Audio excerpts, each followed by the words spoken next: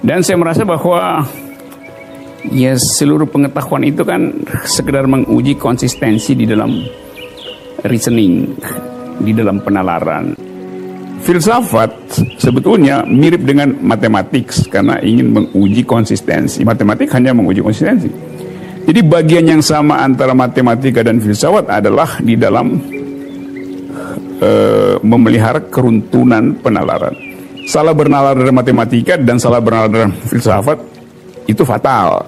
Artinya uh, seluruh fasilitas untuk menghasilkan konklusi dibatalkan oleh gagal nalar di dalam filsafat namanya fallacies gagal nalar. Nah itu yang saya pakai selalu untuk membahas sesuatu. Jadi kalau saya bilang rejim itu dungu, ya dungu karena gagal nalar.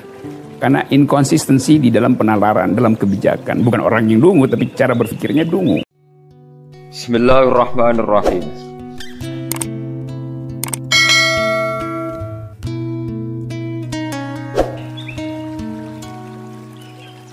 Nah, yang hilang dari peradaban modern adalah Allah itu tidak begitu hadir di hati kita. Saya sering cerita di mana-mana, teks hadis itu sebenarnya berbunyi gini, ini hadis sahih. Mangka na yu'minu billahi wal yawmil akhir fal yukrim jarohu. Ada yang fal yukrim jarohu doifahu, ada yang fal yakul khairan awal yasmut. Siapa yang iman dengan Allah dan Rasul maka harus memuliakan tetangganya, memuliakan tamunya. Dulu itu ada seorang ulama dipanggil anak muda, dibully dari sekarang. Wahai kiai, datang ke rumah saya. Datang kiai itu. Setelah sampai ke rumah orang itu, silakan kiai kembali ke rumahnya. Saya tidak butuh kiai. Kiai itu dengan riang kembali. Setelah di rumah dipanggil lagi. Pak Yai, silakan datang ke rumah saya. Datang lagi. Ya senyum-senyum kiainya santai. Wah, nggak jadi butuh Pak Yai, silahkan kembali lagi. Sampai tiga kali. Oh itu kalau rektor digitukan marah itu. Dosen marah. Kiainya santai. Santai senyum-senyum rileks. Ketika ditanya, kenapa Pak Yai tidak tersinggung? Jawabannya unik.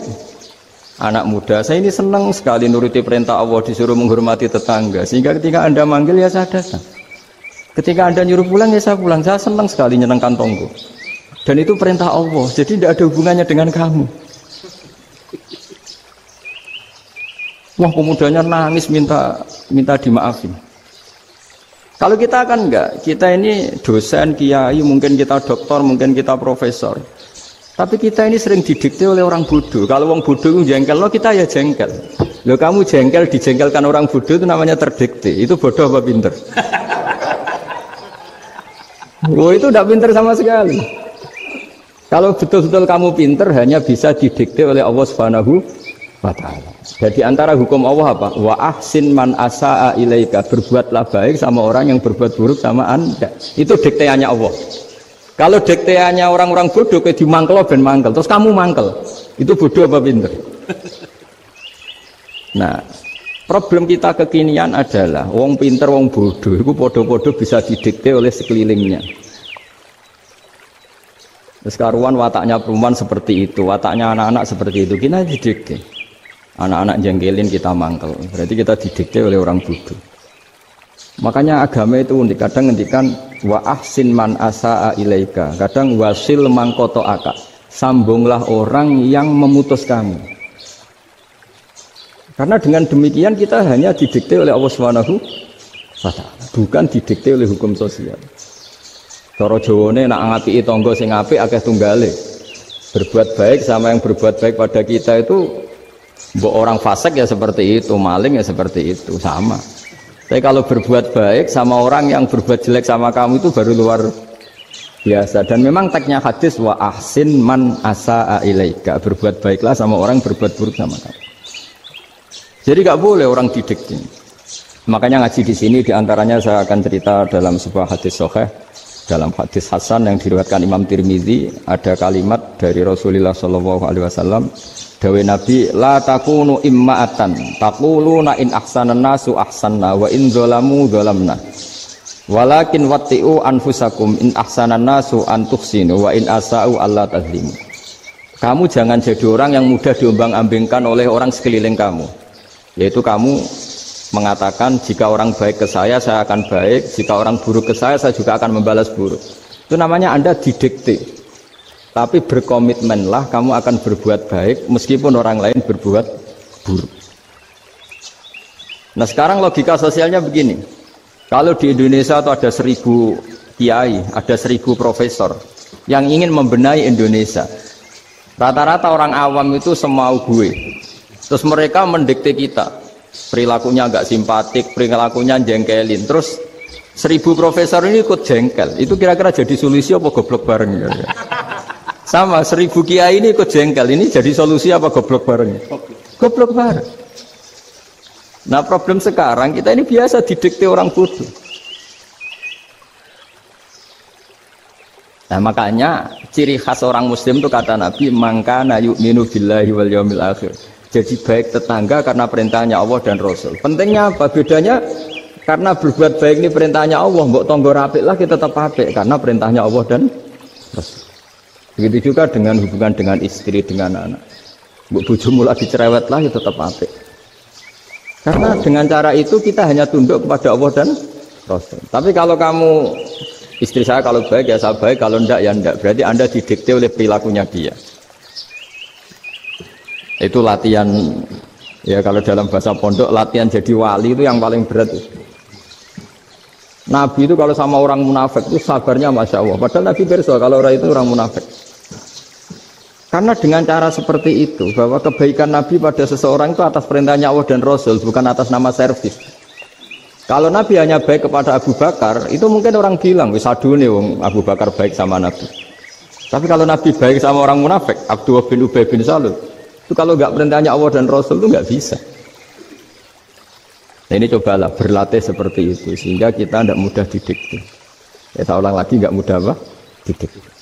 Maka di antara kebaikan Allah dan Rasul adalah bahkan orang dolim saja diberi jatah rahmat. Makanya tadi seperti mukadimah yang dibaca Pak Haris tadi, agama ini rahmatanil alamin. Orang yang dolim saja dapat jatah apa? Rahmat, apalagi yang soleh. Nah kemudian yang perlu dicatat, kenapa kita menjadi enjoy dengan Islam? Islam itu adalah agama yang tidak didikte oleh materi. Jadi kalau Anda ingin makan enak, mungkin kalau pikiran kebanyakan orang, anak-anak muda yang milenial, yang gaul, ingin makan enak ya makan yang disukai. Misalnya sate atau bakso Malang atau apa. Kalau orang-orang yang jadi wali gak gitu cara berpikir. Ini yang masih orisinil. Ditanya, ini dunia baru kesulitan makanan, baru resesi. Cara makan enak gimana? Jawabannya lucu. Ya gampang, idamuhu alju Idam tuh lauk. Kalau kamu ingin makan lauknya paling enak apa? Alju. Kamu harus lapar banget. Sampai kalau puasa itu melihat tempe itu wah luar biasa. Tapi kalau kamu nggak puasa, air putih itu nggak menantang. Tapi kalau puasa, tempe air putih itu menarik dan anda tetap lahap. Apa? Karena lauk terbaik adalah alju, yaitu lapar. Nah tapi kita ini enggak, kita ini kayak orang bodoh. Kayak orang bodoh tadi, profesornya makan nyaman ya kalau sesuai selera. Nah itu kan sama dengan anak-anak ABG. Anak ABG itu makan lahap ya kalau yang disukai. Lalu bedanya apa ABG sama profesor? Kalau cara berpikir masih sama kan itu. Kiainya juga gitu. Kiai makan enak kalau yang disukai, kalau enggak, enggak. Lalu bedanya apa kiai sama orang awam? Orang awam juga gitu, makan lahap ya kalau yang disukai. Nah ternyata perilaku kita ini yang pinter sama yang bodoh sama maksudnya. Kalau kamu ingin berkasta lebih baik, itu cara makan enak itu apa? Idamuhu aljur. Lauk terbaik adalah karena kita sangat lapar. Makanya masyur dalam cerita-cerita tarikh sirah nabawiyah. Nabi diberi hadiah, beberapa hadiah. Di antaranya ada yang diterima, ada yang enggak. Termasuk yang dikembalikan itu dokter. Ada seorang raja memberi hadiah Nabi dokter Tobit itu sama Nabi dikembalikan. Karena dokter ini sudah lama kumpul Nabi, Nabi itu gak pernah sakit. Akhirnya dokter ini putus asa, ini nggak perlu diobatin. Ketika ditanya, kenapa ya Rasulullah engkau tidak pernah sakit? Karena kita ini kaum, kita ini komunitas masyarakat yang tidak akan makan kecuali lapar. Dan kalau sudah makan berhenti sebelum kenyang. Jadi sederhana sekali pengobatan zaman itu. Sebagian besar penyakit itu pasti disebabkan kita ceroboh dalam hal makan. Sudah ngerti kalau durian masalah, kalau makan durian enggak enggak kehitung gitu. Apalagi kalau gratisan itu tambah banyak. Gitu. Eh, pola tidur juga gitu kata Nabi dan kita tidak tidur kalau tidak sangat ngantuk.